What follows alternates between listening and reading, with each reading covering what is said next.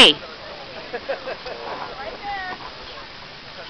And we have team number 54. Good luck.